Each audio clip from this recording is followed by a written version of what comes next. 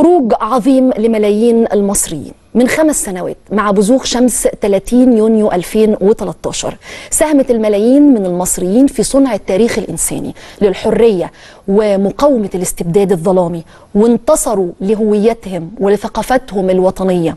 وعقدت الملايين من المصريين العزم على الاستمرار في الرسالة الحضارية تحت علم مصر وتحت مظلة الهوية الوطنية المصرية. في 30 يونيو خابت كل الظنون اللي كانت بتحلم بفوضى تجتاح مصر وتدمر مصر لكن إرادة الشعب المصري استطاعت أن تنتصر.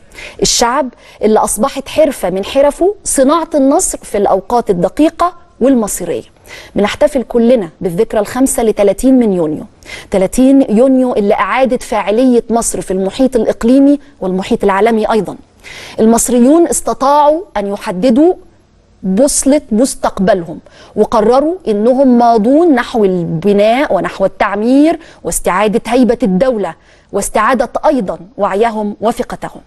انطلق المصريون في 30 يونيو 2013 ليشقوا طريق الحرية وليعمروا الأرض.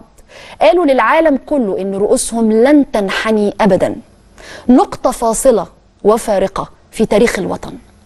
نقطة فاصلة أكدت إنها انتصار ضد الزيف والوعود الزائفة وأنها هزيمة لمحاولات غسل العقول. لم يكن النجاح فقط على أرض مصر لوحدها ولكن استطاعت ثورة 30 يونيو إنها تنشر أفكارها في المحيط العربي.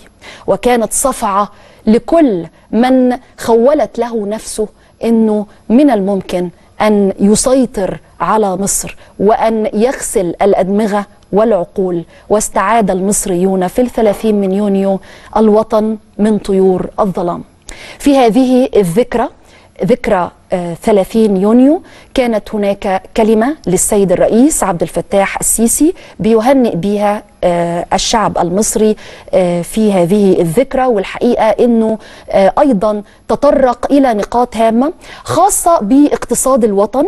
واقتصاد الوطن في مرحلة ما قبل 30 من يونيو وما بعد 30 من يونيو. وكذلك دور المصريين في تاريخ الوطن وعمر الوطن حينما خرجوا لكافة الميادين الرئيسية حينما طافوا شوارع القاهرة وكافة المحافظات ورفعوا راية الحرية.